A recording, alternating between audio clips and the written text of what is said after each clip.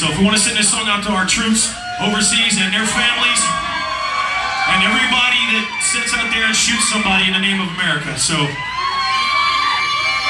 we're going to send this one out to all our armed service members out there. We love you very, very much.